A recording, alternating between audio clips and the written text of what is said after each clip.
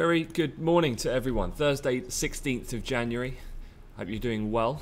Um, in terms of what I'm going to talk about is a little bit on updates in regard to the, the signing of the phase one of the US-China trade deal. Where do we go from here?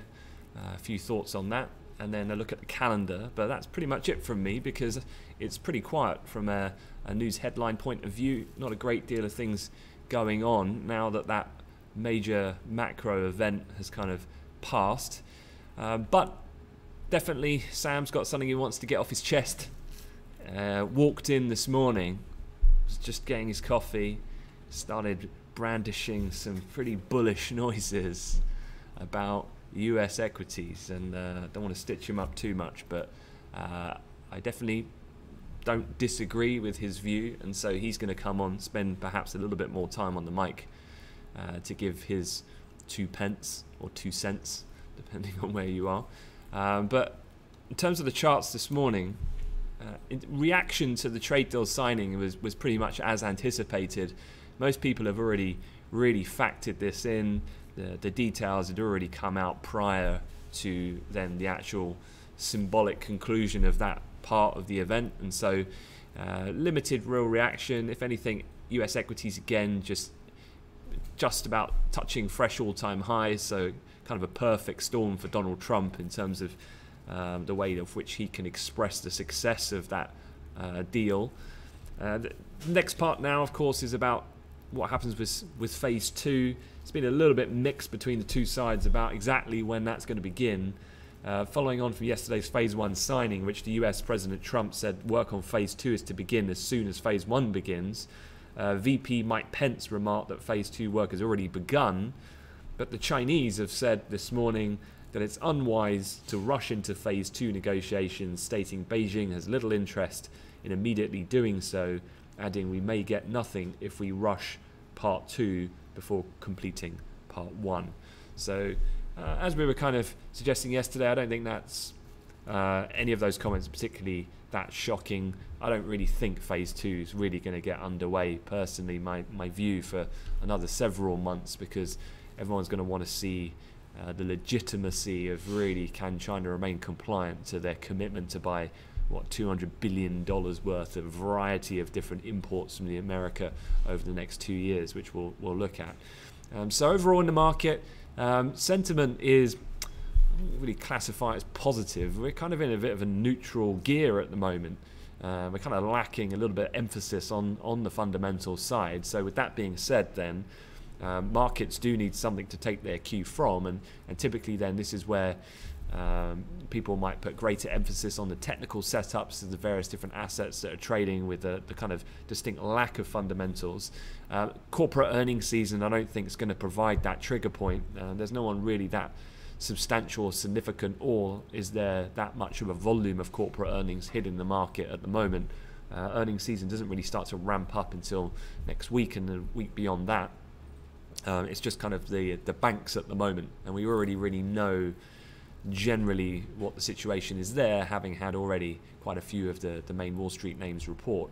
So yeah, I definitely would be looking at this trade story as as you know I, I wouldn't have it as a uh, a real directional driver for saying I want to be long, short, different assets. Uh, at this point, it's kind of more um, just looking at, at, key technical levels, I guess is what I'm saying. Um, from a trade deal point of view, I did just briefly mention it, but I did want to show it on a graphic. Just make it one notch smaller so you can uh, see it. Just give me one second when I scroll to it. Um, this was the detail behind Beijing's $200 billion buying spree kind of promise in order to get this deal done and over the line with US President Donald Trump. And you can see here the two colors denote the breaking of year one and year two of the kind of phased in element of the buying of four different areas of, of imports from America agricultural, energy, manufactured goods, and services, uh, manufactured goods being the most. But it's just quite phenomenal, really. Um, just the just the size of this, uh, and certainly from an American point of view, uh, not only have you got a fairly accommodative monetary policy where they're kind of in a holding pattern at the moment, and on the balance of things, you would say, if anything, they're more likely to cut than than hike. Uh, in combination then with um, the likelihood probably of quite aggressive fiscal pledges as Trump goes into trying to cajole sentiment into the second term, and now with the underlying commitment of China buying copious amounts of goods from America uh, in fear of reprisal if they do not now that they've signed this agreement yeah, it is it is all looking a little bit gravy over the medium term for for America and, and Donald Trump. Uh, this, of course, coming amid the House still looking to persevere with their impeachment uh, of the president. But again, as we've we've said over the over the last couple of weeks, I don't really see that as just political noise on Capitol Hill rather than anything influential for prices day to day. Um, with that being said, there was something from the Chinese side um, that I did see. Uh, just giving you the highlights here. Uh, this was coming from an official overnight who said that the People's Bank of China, the Chinese central bank, will keep liquidity at reasonable, ample levels by flex, flexible or flexibly using monetary policy tools like the reserve requirement ratio, the medium, uh, the lending facility that they have, open market operations, um, and basically just continuing to do what's necessary uh, to avoid any kind of disruption in their local economy. But a lot of this stuff, particularly um, liquidity injections at this time of year, seasonally, do coincide with the build up to the, the, the, domestic mainland shutdown that you get over the, the New Year period. And Chinese New Year kicks off in about nine days now. Uh, so none of this is too surprising, but you know this is another thing about that overall general outlook still remaining relative positive, not just because of all the reasons I just discussed there with America and Trump, but from a Chinese point of view, the deal also does then put a bit of an end, at least in the short term, to some of the negativity, which obviously was a real risk factor uh, to one, you know, the largest emerging market in the world um, last year, which was the significant economic pressure that they were experiencing through the escalation of tariffs. And now this is kind of on hold for the time being. There's kind of a mutual agreement here that the lack of escalation, with the additional stepping up of the PBOC and the natural fiscal forces in China, um, yeah, it's hard. It's hard not to um, to be fairly now upbeat about the, the, the future, despite some of the obvious risks that are out there. Um, that's it really from me. Uh, nothing really too much. Obviously, the conversation is all quite high level, uh, top view, macro, rather than anything so much specific intraday. Uh, definitely would be more interested to hear what, what Sam's looking at as key levels to watch across the different asset classes. From an actual calendar point of view, uh, this morning, not really too much uh, of interest. You do have the ECB minutes coming out uh, at 12:30 London time, but uh, ECB minutes by default are, are dated. I don't think they're going to be of particular relevance or have much in the way of market moving potential later on today. Uh, then in the US, uh, regular weekly jobless claims at 130 alongside import export prices. You've also got Philly Fed and US retail sales. So uh, perhaps then uh, a US focused session in, in regards to potential catalysts could dictate some of the sentiment when the, when the Americans come in and the, the general volume overall starts to pick up. Um, speaker wise, Fed's Bowman voter neutral stance, speaking specifically more on the housing market. Um, that's going to be at 3 p.m. Then ECB's Christine Lagarde is also speaking at 6 p.m. Obviously, the ECB president, always worth monitoring. Uh, Bank of England's Haldane is also speaking at 6 p.m. at an event in London. And from an earnings perspective, as I said, there's not really too substantial, at least from an index trading point of view. From a single stock uh, perspective, you have Bank of New York Mellon, though, reporting ahead of the opening bell today. All right, that is it from me. Let me hand you over to Sam. Any questions, though, feel free to leave a comment on the video on YouTube. And if you're watching this and you're not subscribed to the channel, make sure that you do subscribe uh, we'll have these daily updates, of course, but we'll also have live events, of which we'll also be covering the Fed on the 29th of January live via the YouTube channel. So hopefully I'll see you then, if not before, and have a good day ahead. Thanks very much, guys.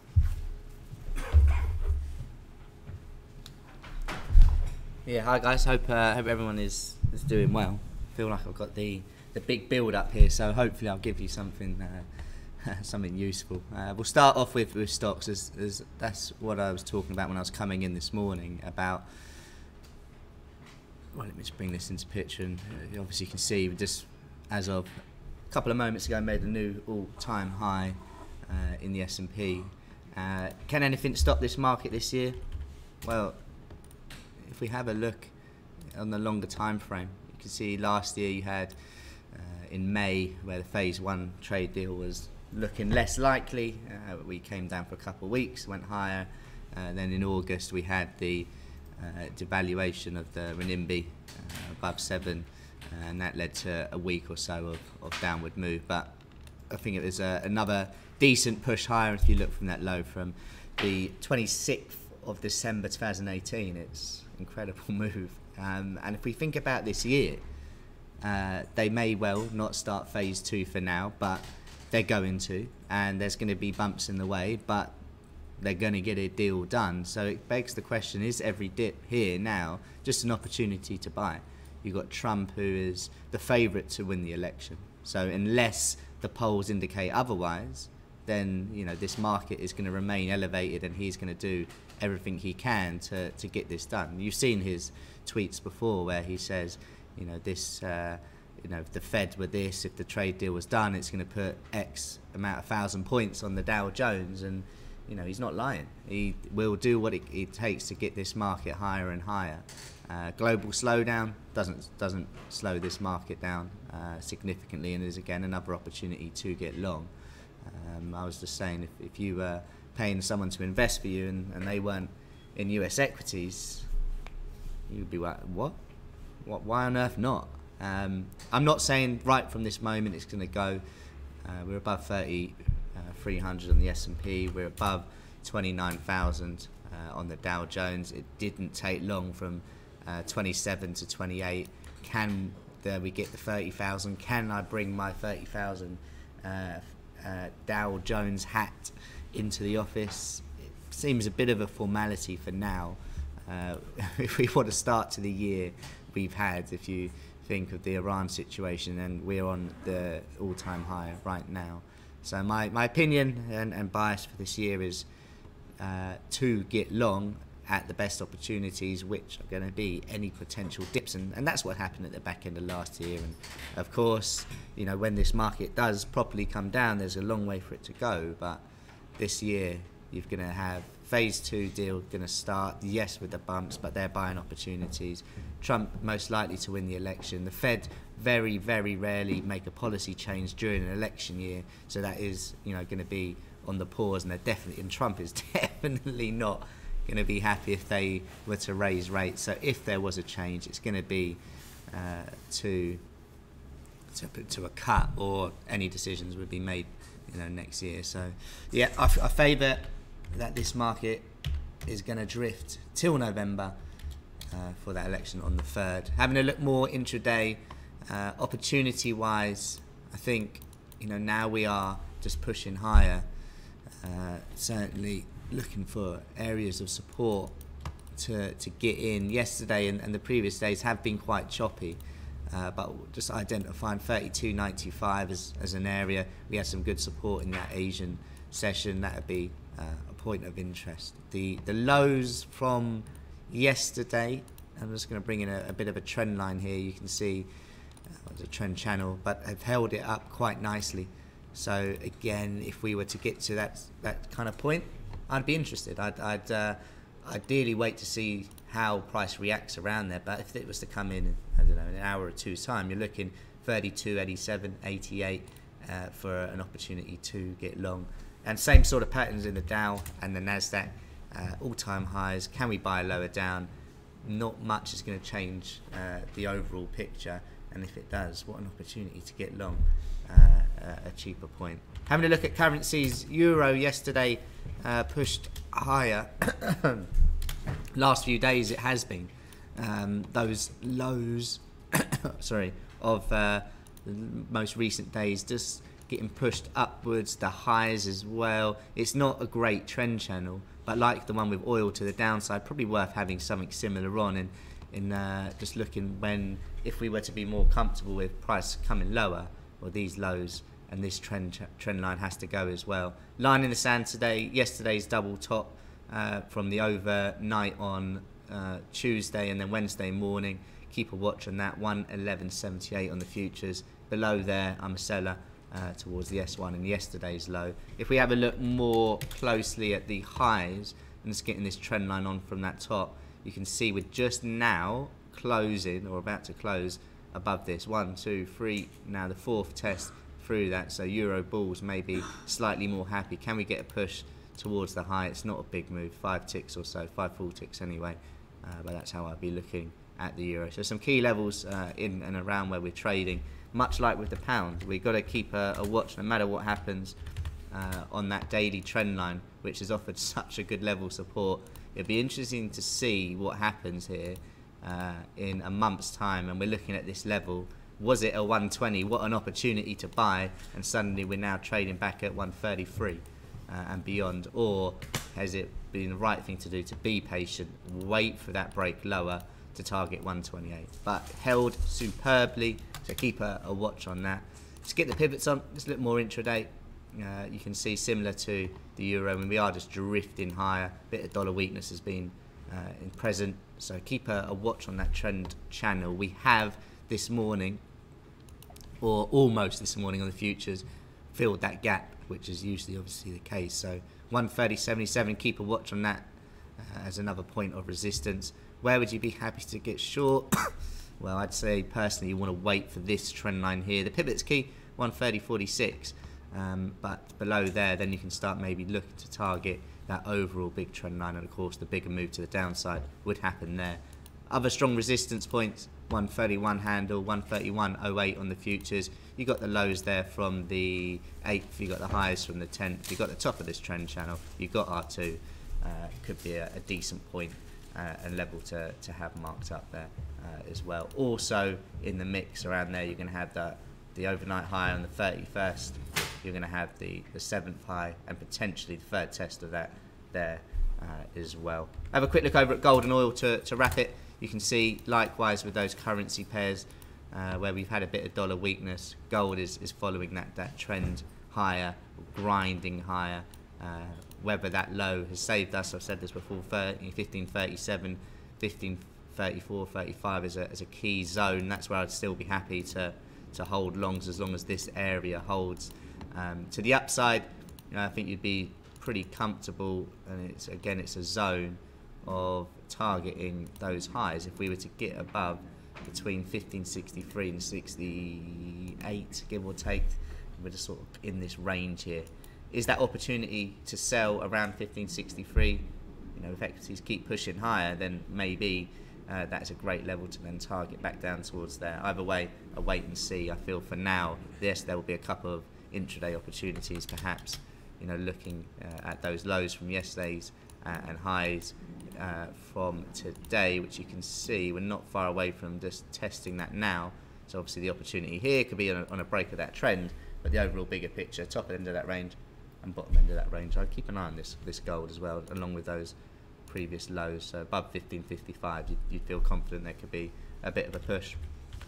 DOEs yesterday, decent move to the downside, uh, and then a full reversal. You'd think it was a central bank meeting uh, there um, in this trend channel still keep a, a watch on that, I would say, for uh, this market. We tested the top end of that this morning and it held quite nicely. Uh, and the bottom of it's got this more of a trend line, but you can see we're, in there. And the opportunity for me is above or it is below. What one do I prefer? I don't really have a bias for now. I'd rather let the market tell me what's going on, and uh, well, we'll have to wait and see for, for that one there. Pivot looks relatively key some interesting support around 57, 75 as well. The high, the top end of that trend uh, channel is also yesterday's high as well, so it could be a bit of relief if all of that goes uh, as well.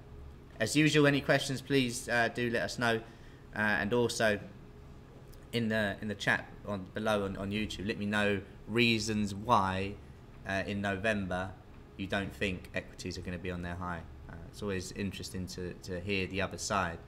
Uh, it's just my opinion that Trump's going to win. A trade deal is going to get done, whether it has any bumps or not, and they're not going to raise rates uh, as well. but yeah, any questions, please do let us know. Uh, and I'll be obviously on the chat throughout the day. So I hope you all have a, a good trading session and catch you all later on.